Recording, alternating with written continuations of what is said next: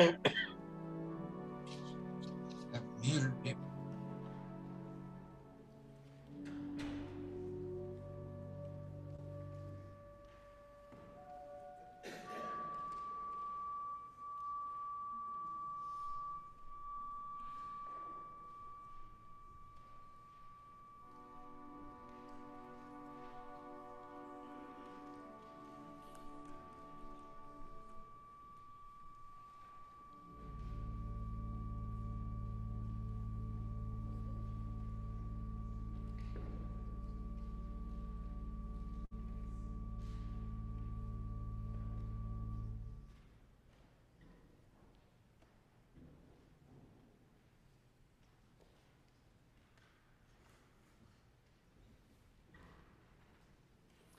In gratitude and joy for all of God's blessings, let us rise in body or spirit and worship God together using the call to worship.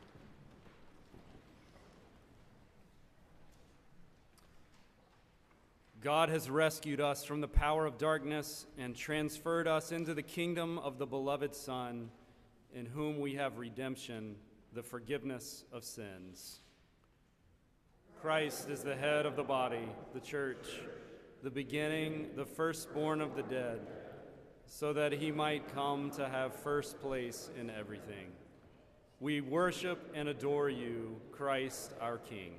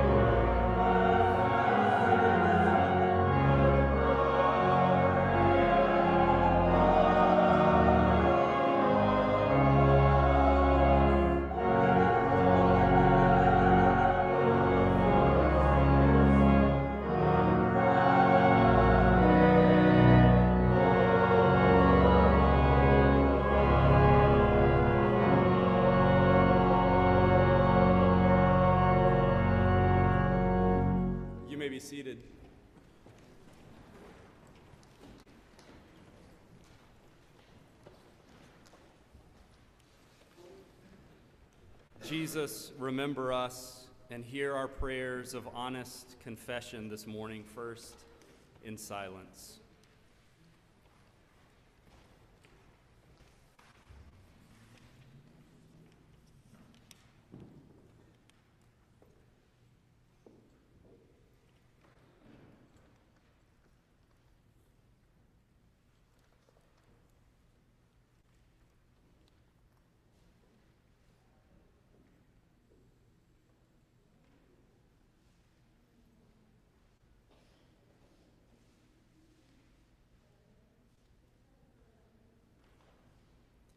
And now together.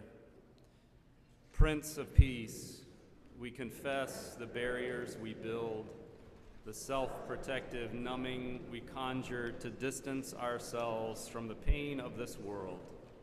We harden our hearts to the suffering and behave in ways far from humane. Soften us, Jesus.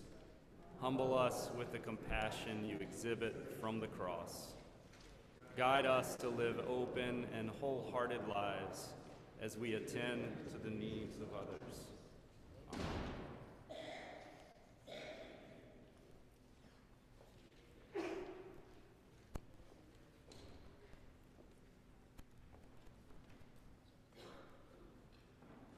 Hear the good news. From the cross, Jesus says, Father, forgive them, for they know not what they do. This forgiveness permeates our faith. It is the invitation for each of us to respond to the grace of our God with joy and hope and compassion for ourselves, for each other, and for the world. Know that in Jesus Christ you are forgiven and live into this peace.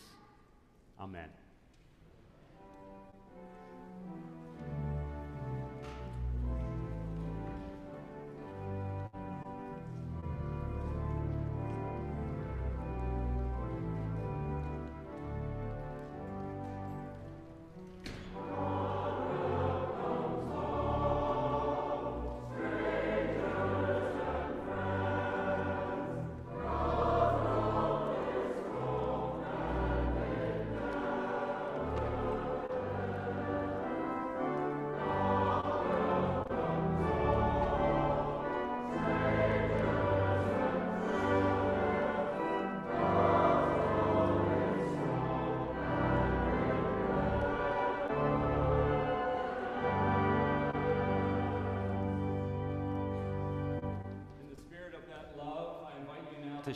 The peace of Christ with one another, respecting each other's comfort levels. May the peace of Christ be with you.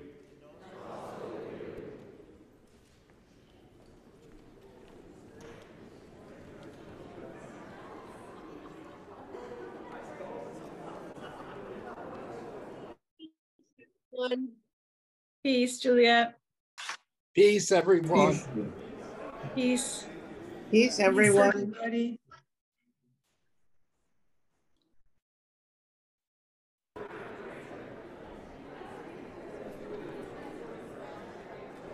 Hi, Gilly. Peace. Hi, this is Betsy Taylor. It's just a joy to be with you.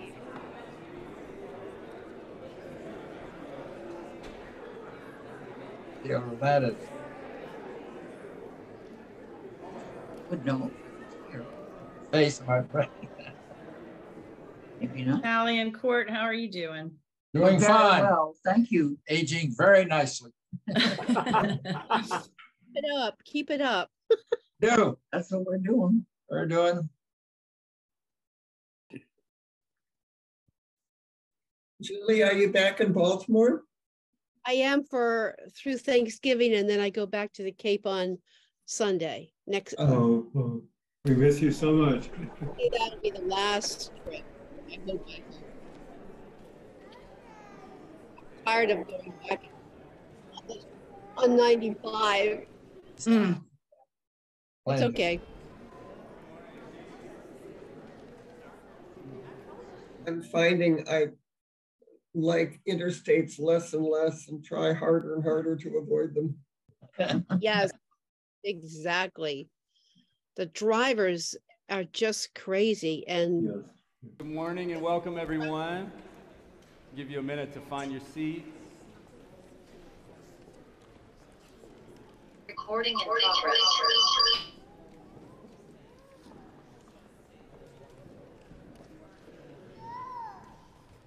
It's great to welcome everyone to Brown Memorial this morning, whether you are in the space or joining us online this morning. We're glad that you're here with us. Uh, for those in the space, a reminder that uh, masking remains optional for everyone except while singing. We do ask you to wear a mask at that point. To stay informed about everything that's happening in the life of the church, we invite you to turn to the back of your order for worship today. There's an announcement section that lets you know about what is happening in the life of the church. And please note that the church office will close this Wednesday at noon for the Thanksgiving holiday, um, and Reverend Gretchen Van Utt will be on call for pastoral emergencies. Um, today, you are invited to stay after worship, to make an Advent wreath today in the assembly room.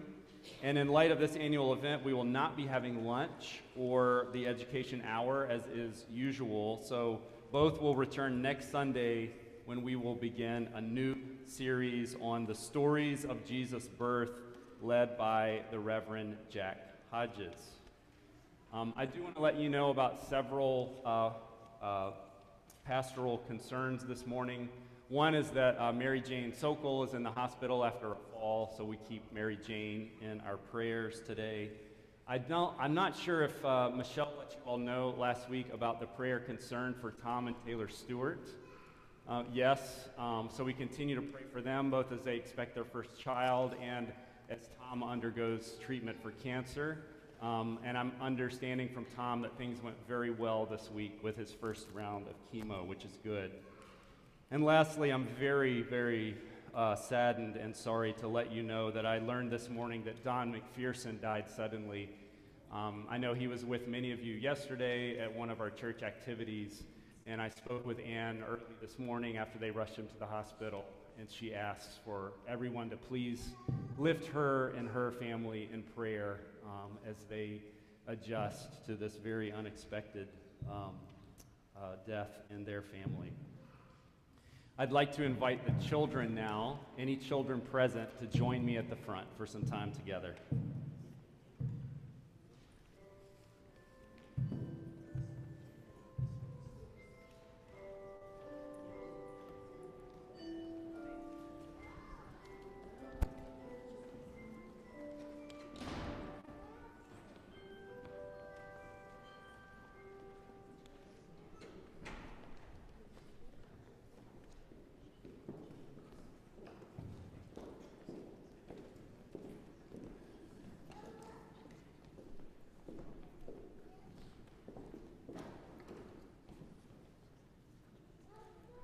Well, good morning, everybody.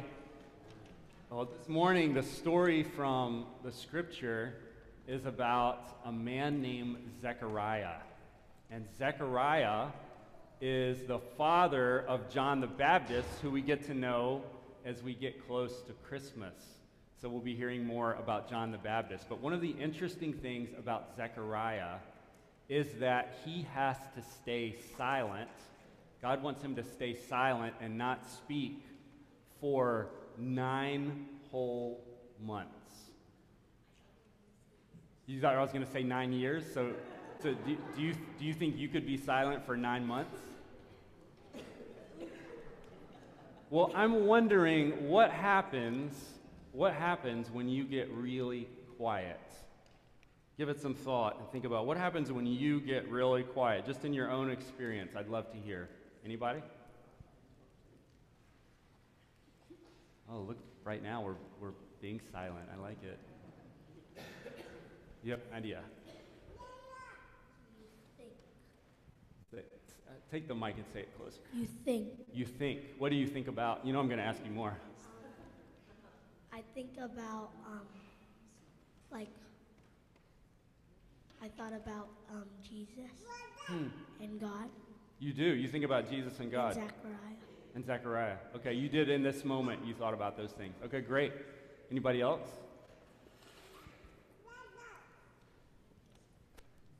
What about not in this moment? What about in other moments when you're quiet? What happens? Or maybe you, maybe you're not quiet a lot. Some of us aren't quiet a lot.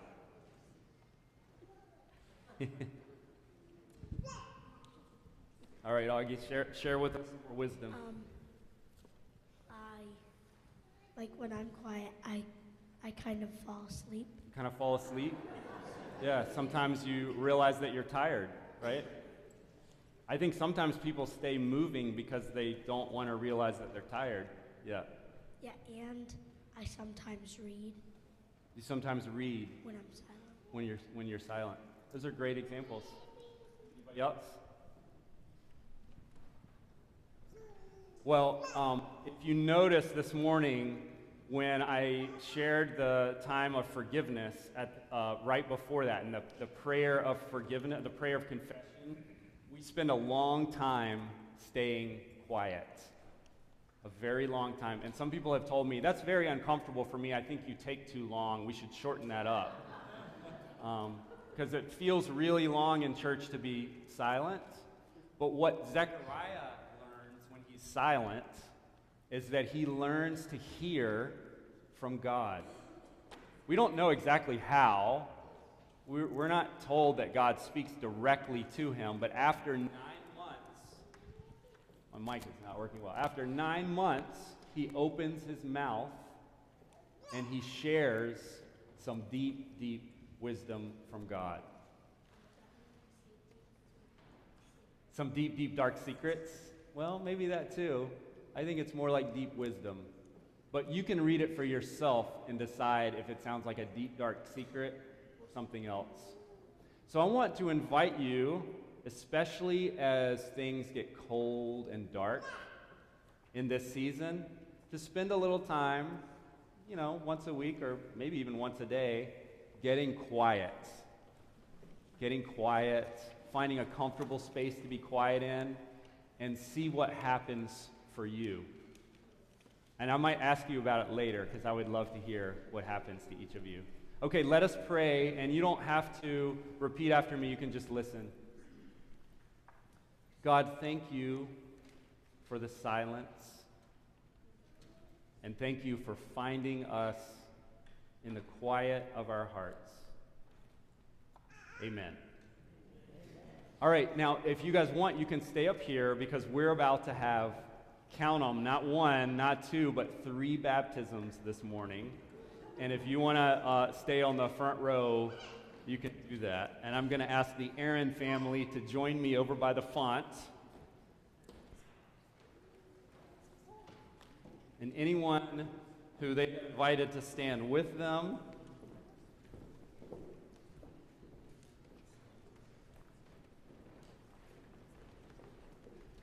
And also Vi Thorpe, our elder, who's representing the session this morning.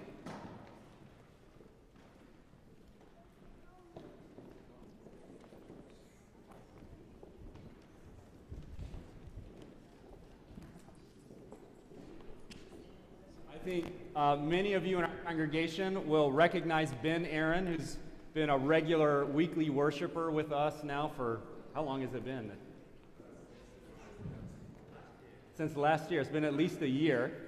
Uh, and we had a conversation a few weeks ago in which he said, Do you think my grandchildren could be baptized at Brown Memorial? I love the church. And I said, Absolutely. Just give me their names and I'll be in touch.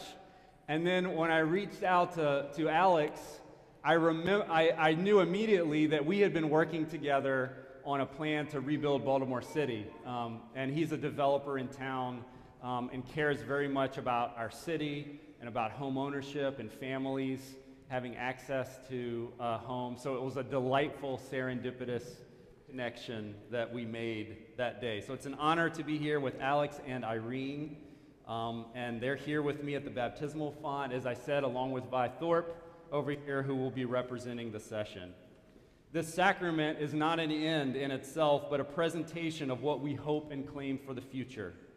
A sign that God is going ahead of us as God went ahead of the Israelites across the sea of reeds to set them free from Egypt and to make a nation of them. A sign that we must follow where God leads, taking our children by the hand and gently leading them until they are able to say with Christ that in life and in death we belong to God. So let us remember with joy our own baptism as we celebrate this sacrament.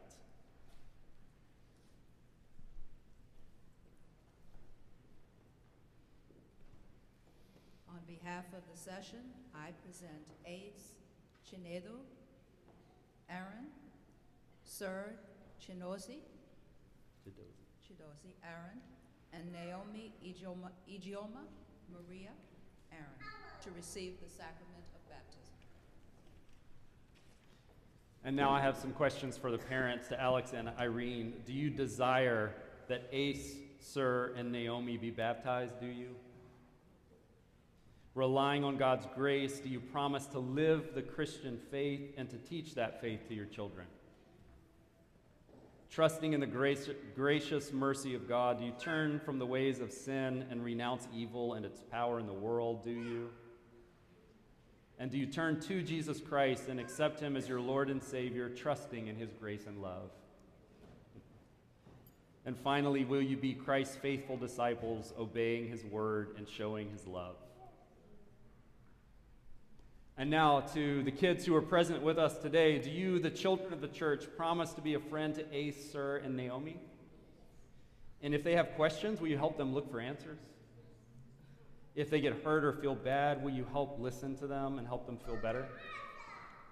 And will you play with them and share with them the stories of Jesus? And finally, to the members of our church, do you, uh, as members of the Church of Jesus Christ, promise to guide and nurture Ace, Sir, and Naomi by word and deed with love and prayer, encouraging them to know and follow Christ and to be faithful members of Christ's church? If so, please say, Yes, we will. Let us pray. Eternal and gracious God, we give you thanks for your history of saving us, for bringing us through the stormy waters of the Red Sea, for sending Jesus, your Son, for giving us the gift of baptism, a passage from sin and death to rebirth. Thank you for giving us your Holy Spirit who teaches us and leads us into all truth, sending us into the world to serve you as a royal priesthood.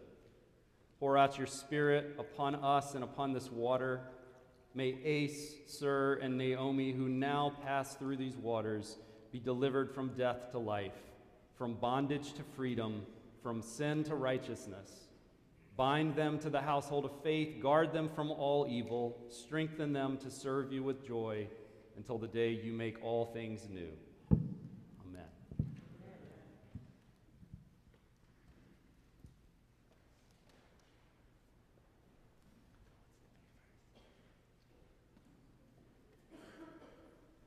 Ace, will you come with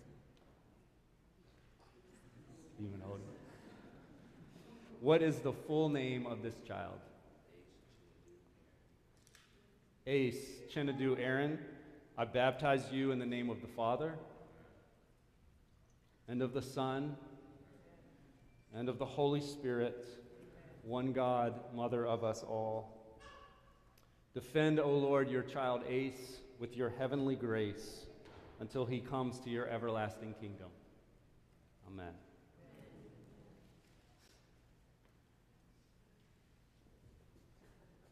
What is the full name of this child?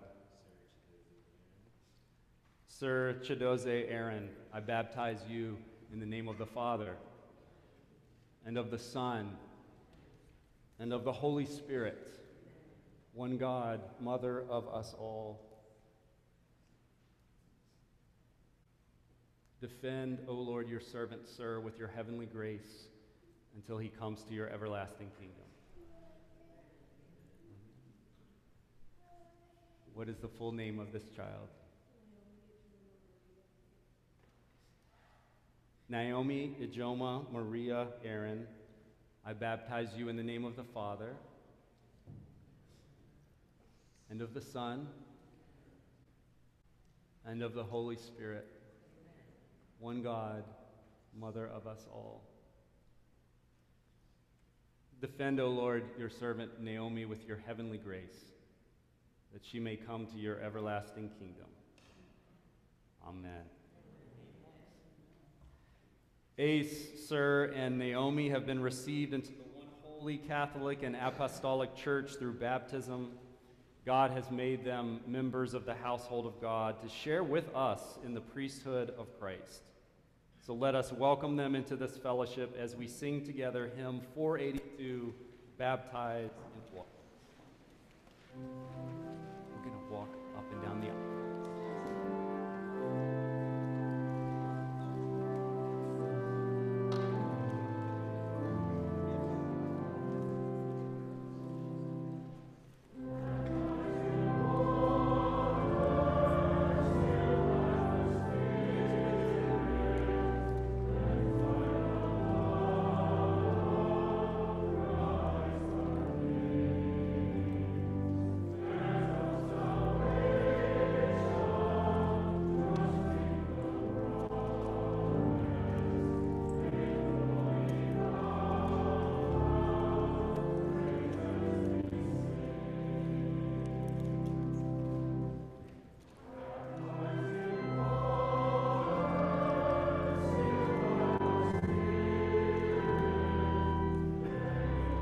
Jaj, Flóci!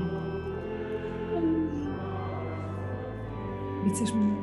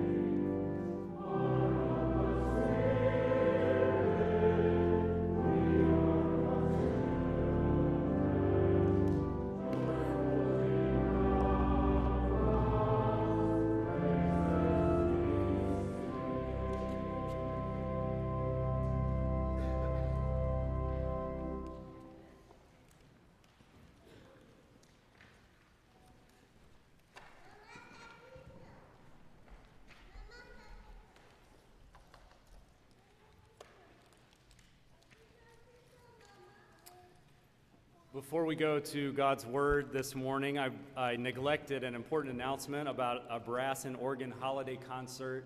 This was something that our Minister of Music, Michael Britt, had been working on. And when Michael died in August, um, the, the group of brass musicians called me and said, We'd really love to proceed with this concert in memory of Michael. And Marvin Mills, um, who many of you know, agreed to step in. So I hope that you will put that on your calendar. It's Sunday, December the 11th at 7 p.m., and it should be a wonderful evening of um, celebrating Michael Britt as we move toward the holidays together. Let us pray.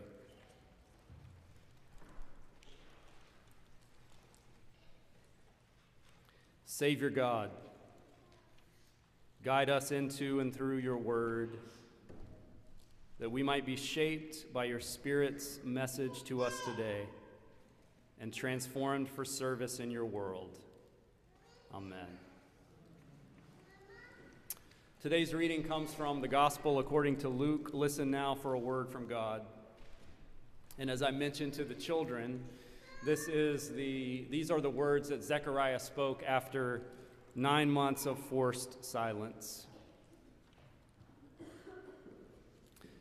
Zechariah, John's father, was filled with the Holy Spirit and prophesied Blessed are you, the Most High God of Israel, for you have visited and redeemed your people. You have raised up a mighty Savior for us in the house of David, as you promised through the mouths of your holy ones the prophets of ancient times. Salvation from our enemies and from the hands of all our foes, You have shown mercy to our ancestors by remembering the holy covenant you made with them, the oath you swore to Sarah and Abraham, granting that we, delivered from the hands of our enemies, might serve you without fear, in holiness and justice, in your presence all our days. And you, my child, will be called the prophet of the Most High for you'll go before our God to prepare the way for the promised one, giving the people the knowledge of salvation through forgiveness of their sins. Such is the tender mercy of our God, who from on high will bring the rising sun to visit us, to give light to those who live in darkness and the shadow of death, and to guide our feet into the way of peace hear what the Spirit is saying to the church. Please pray with me. O oh God, may the words of my mouth and the meditations of all our hearts be acceptable to you, O Lord, our rock and our Redeemer. Amen. There once, there once were three friends who were eager workers, and one of them chose to devote himself to making peace between people who were fighting in accordance with Blessed are the peacemakers. The second chose to visit the sick. The third went off to live in tranquility in the desert. The first toiled away among the quarrels of human beings, but could not resolve them all, and so he went to the one who was looking after the sick. And he found him flagging too, not succeeding in fulfilling the commandment. So the two of them agreed to go and visit the one who was living in the desert. They told him of their difficulties and asked him to tell them what he had been able to do. He was silent for a time. Then he poured water into a bowl and said to them, Look at the water. It was all turbulent.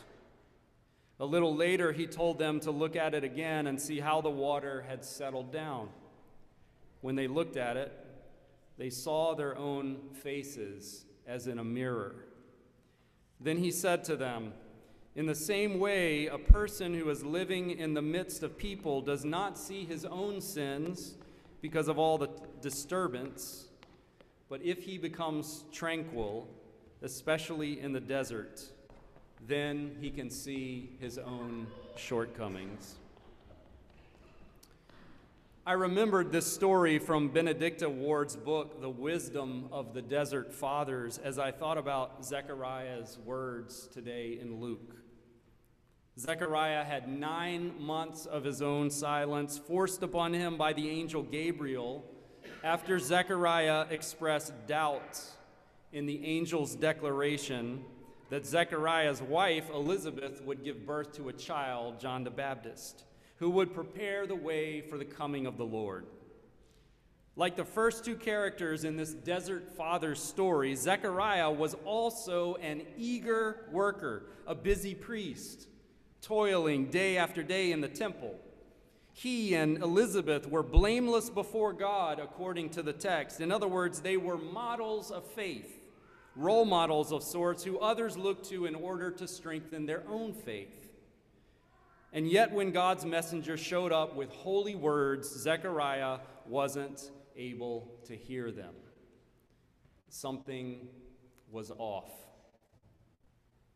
Now, it's possible that clergy are especially prone to this problem since we spend more of our time than is good for us talking, teaching a class, preaching a sermon, weighing in on this or that, such that we forget that our true task is and always has been to listen. To listen for God's voice speaking through the word in these pages, the word incarnate in people's lives the Word in creation, the Spirit moving through and beyond us and others.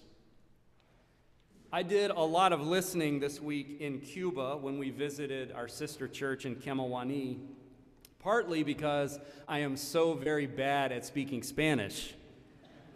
And when you are immersed in a language that is not your first one, you have to spend a great deal of time and energy listening, much more closely than you do when the language is your own.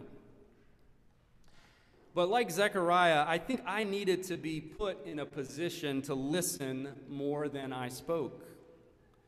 Because I don't think I had realized how much my own narrative of what's going on in the world, in the church, even in my own life, had started to become a bit of an echo chamber. I had become a bit narrowed on our own internal issues. Questions like Is everyone going to come back to church? drives up my anxiety about our resources, our budget for 2023, our ability to keep staff and pay them fairly, keeping up with these buildings that are in constant need of maintenance, and missional work, all amid the needs that continue to grow with each year that our city continues to lose population.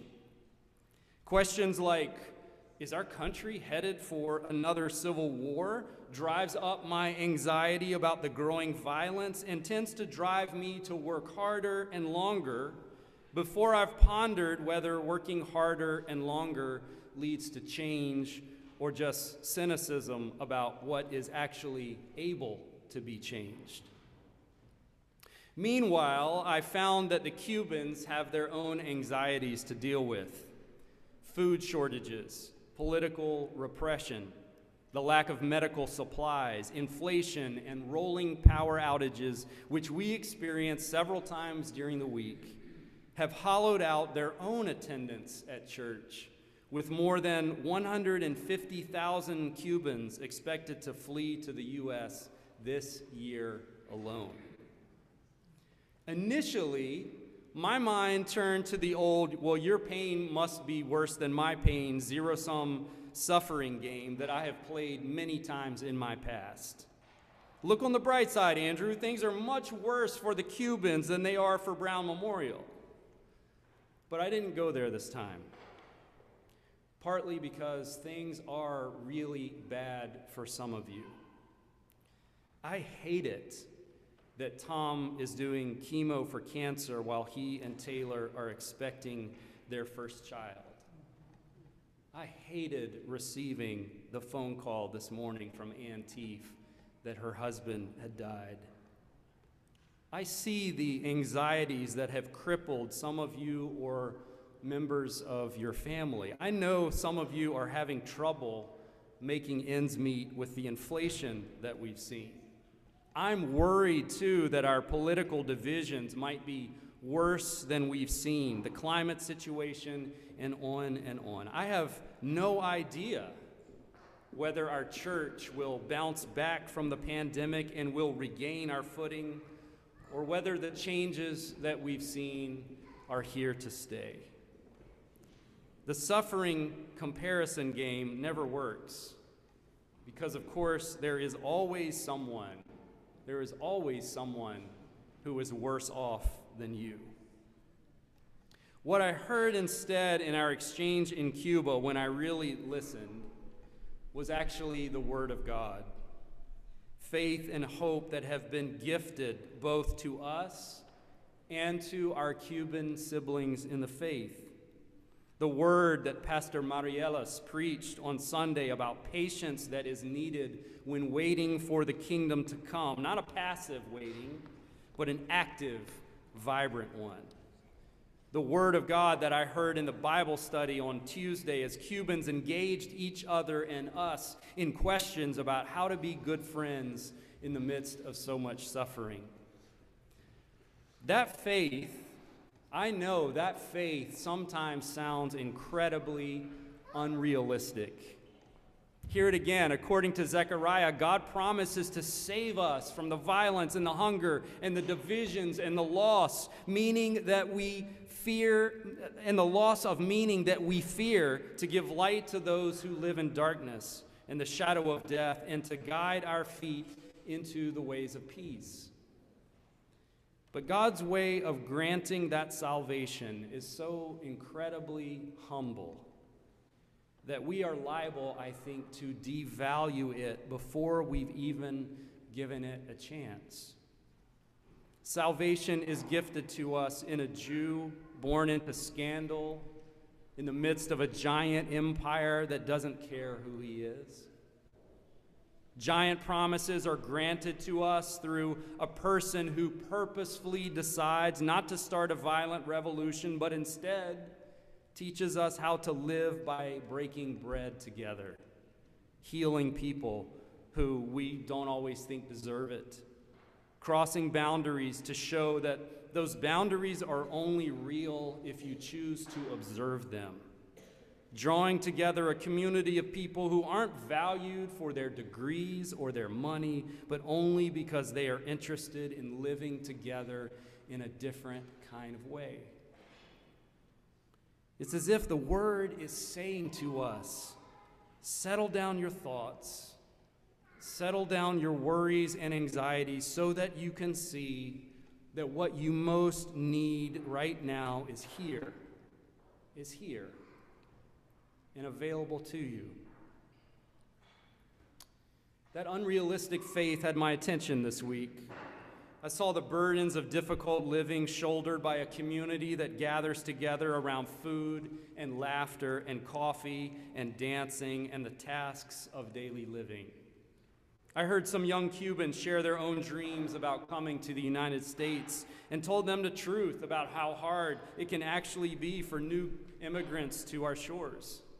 We sat through blackouts and laughed at the Cubans' biting humor toward their own government as they exclaimed in the darkness, Another gift from the revolution. The thought occurred to me that the listening and the laughing and the struggling and the eating and the dancing and the hoping and the shared tears, whether here in this church or in that one, is the gift of faith. And not a gift that is like an add on to everything else in our lives, but the thing that would teach us what all living is really about. Connection, care, shared suffering, growing together in a community that wants to practice love and strive for justice together.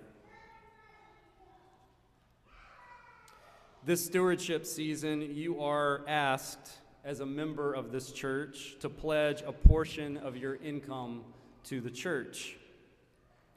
I can make a compelling case that the church budget really needs participation from all of us this year as we do our best to regain our footing. I hope that you will actually get out your tax return, look at your actual income, and set a real goal for you in your own generosity. And yet, I fear that starting with that kind of a financial transactional approach has it all backwards. Stewarding your life is about treating that gift as the gift that you are. Tending to that gift with intentionality to ask yourself the question Am I spending my life including my money, but not limited to it? Am I spending my life in the way that would bring the most love and connection and joy and justice into my own life and the lives of others? And what changes would I need to make so that this could be true? Don't let the gift of your life become an afterthought after you have allowed everything else to determine who you are and what you can be. Let the generosity that God incarnated in your life guide everything that you choose to do. Because the kingdom of God has promised, that God has promised, really is at hand. Sometimes even the highest priests among us, the most devoted of monks, the best of our clergy need to be reminded that this is true. Joy and justice and peace and well being continue to be offered to us in simple gifts of bread and rum and Bible study and salsa dancing and laughter at our political follies that these days know no borders. Such is the tender mercy of our God, from whom on high brings the rising sun to visit us, gives light to those living in darkness and the shadow of death, and does guide our feet into the paths of peace.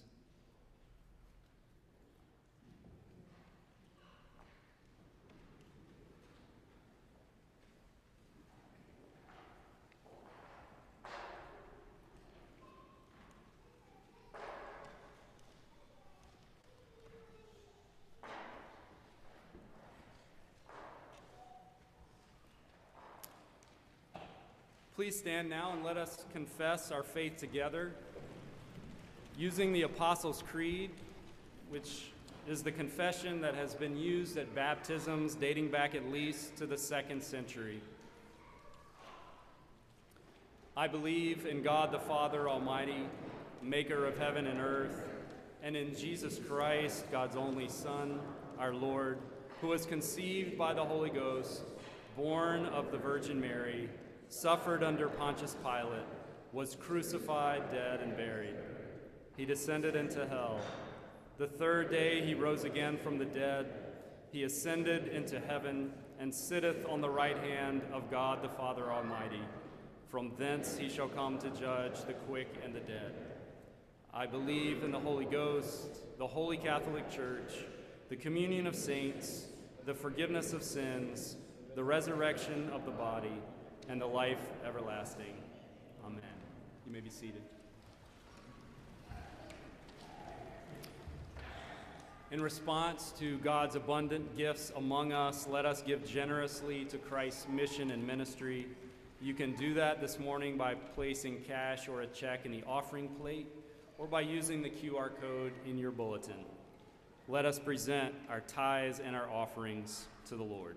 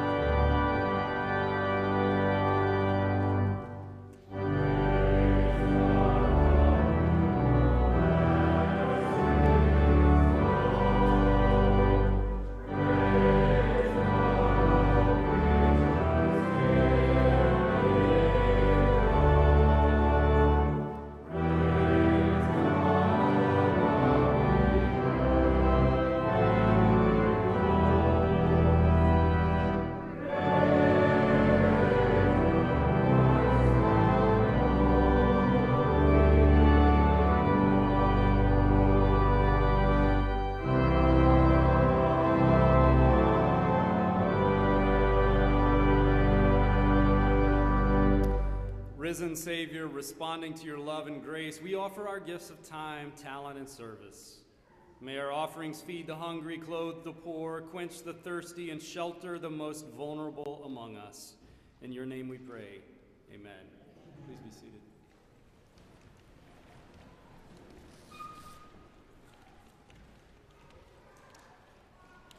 Let's join our hearts together now in prayer. Let us pray.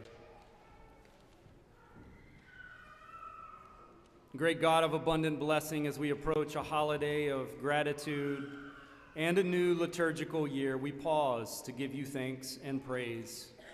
We do acknowledge all good gifts that come from you and for the many ways that you bless us.